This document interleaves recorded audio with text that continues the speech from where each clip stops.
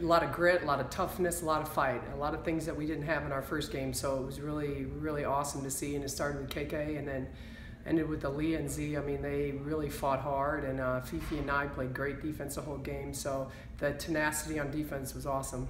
Um, I think we came out and played hard. Um, I know it hurt us to come out and be 0-1, especially in front of our home crowd. So I think we came out with a little tenacity. I think we played really hard, and our started with KK. Um, she set the tone early, and everybody kind of played off of her. It's only halftime. Just think if we come out in the third quarter and play as hard as we did at the end of our last game, where what the score would be like, and, and we won that third quarter, and then then we just carried the, that momentum into the fourth.